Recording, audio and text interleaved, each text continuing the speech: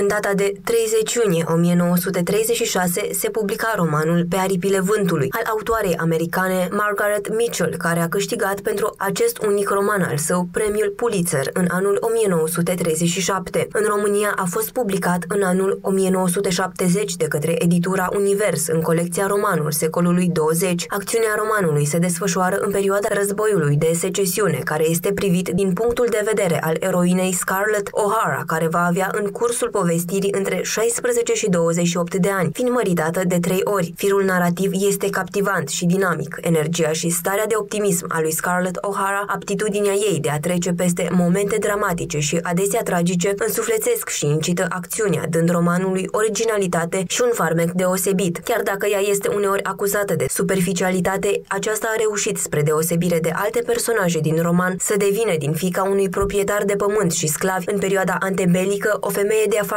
pragmatică și atrăgătoare după război. Autoarea ne prezintă o luptă pe viață și pe moarte a eroilor romanului, alături de care cititorii plâng, râd, iubesc, urăsc, încercând practic toate stările psihologice în funcție de caracterul schimbător al norocului eroinei. Monumentala epopee ficțională a devenit un succes imediat cu 180.000 de copii vândute în doar 4 săptămâni. A fost urmată de numeroase premii și de o largă recunoaștere națională și internațională. Datorită succesului imens, autoarea a fost contactată de David Selznick pentru a ecraniza romanul, astfel că în 1939 a avut loc premiera unuia dintre cele mai vizionate filme din istoria cinematografiei mondiale, fiind de asemenea producția de film care a realizat decenii la rând cele mai mari încasări. Povestea filmului Pe aripile vântului a primit 10 premii Oscar și a fost primul film color, aducând încasări de peste 1,4 miliarde de dolari. În 1939, în Atlanta, Statele Unite, a fost sărbătoare locală. Biletele la cinematograf au fost de 40 de ori mai scumpe ca de obicei pentru premiera filmului Pe aripile vântului, însă cele 140 de zile cât a durat realizarea peliculei au fost pline de provocări. Gary Cooper și Bette Davis au refuzat rolurile principale. Nici Clark Gable și Leslie Howard nu au acceptat cu ușurință să joace în acest film. Gary Cooper a spus cu ironie că acest film va fi cel mai mare fiasco din istoria Hollywoodului. Marele actor a spus, mă bucur că va fi Clark Gable, cel care va ieșua lamentabil, nu eu. Până și Clark Gable, interpretul lui Red Butler, din rolul principal a declarat că nu îl încântă deloc faptul că rolul care l-a consacrat a fost unul romanțios dintr-un film pentru femei și pentru rolul principal feminin, Scarlett O'Hara, au fost probleme. Aproximativ 1400 de actrițe s-au prezentat la casting pentru a o interpreta pe Scarlett. Dintre acestea, doar 400 au fost audiate interpretând anumite scene din film. Filmările începuseră deja, iar regizorul încă nu se hotărâse cine va juca rolul personajului principal. Vivian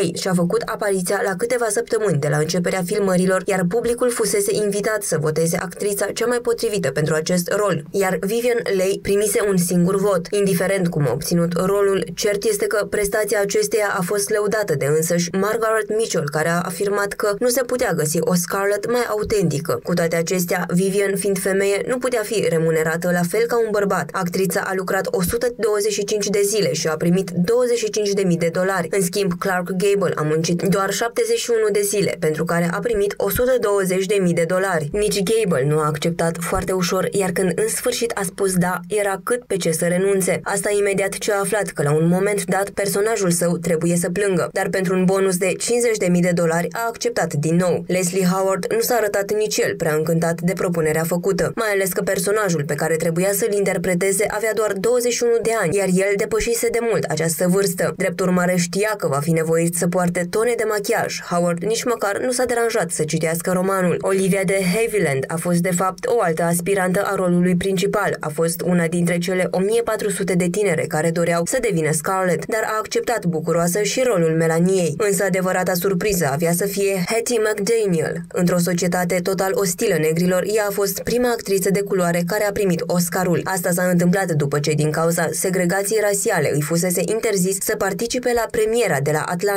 Din acest motiv, Clark Gable amenințase că va boicota evenimentul și s-a răzgândit doar după insistențele lui Hattie. Producătorul David Selznick a plătit 50.000 de dolari pe drepturile de ecranizare. Nimeni nu mai avansase vreodată o astfel de sumă. A cumpărat drepturile de autor chiar de la Margaret Mitchell, care din nefericire a murit într-un accident de mașină în plină glorie, după succesul apariției romanului și filmului. Primele scene filmate au fost cele cu marele incendiu al Atlantei. Au trebuit mobilizate zeci de echipaje echipaje de pompieri care să mențină focul sub control. Apoi au fost arse decoruri din producțiile mai vechi. Așa s-a transformat în cenușă și marele zid din filmul King Kong. Incendiul a costat 25.000 de dolari. A fost atât de puternic încât locuitorii din Culver City sunau în continuu la linia de urgență, crezând că MGM este în flăcări. Oboseala și stresul și-au spus cuvântul și au apărut conflicte pe platourile de filmare. Vivian Lee fuma patru pachete de țigări pe zi, iar partenerul ei trei. Clark Gable fusese numit unul dintre cei mai atrăgători bărbați ai anului, dar colega lui i-a știrbit fără milă reputația. După sărăturile pasionale din film, actrisa a declarat în presă că partenerului său îi mirosea gura îngrozitor. La scenele de dans, Vivian Lee a trebuit să fie dublată de o profesionistă după ce a demonstrat că nu se pricepe. Când cele 88 de ore de material filmat brut au fost transformate în sfârșit în produsul finit, David Selznick a implorat-o pe Margaret Mitchell să-i spună ce părere are, însă singurul lucru pe care l-a spus autoarea a fost că Tara nu e nici pe departe ce și-a imaginat ea. Cu toate acestea, atât romanul cât și filmul au rămas în istorie, iar povestea de dragoste dintre Scarlett O'Hara și Red Butler, protagoniștii romanului, a reușit să impresioneze și să emoționeze generații întregi, învățând cititorii că, la urma urmelor, e și mâine o zi.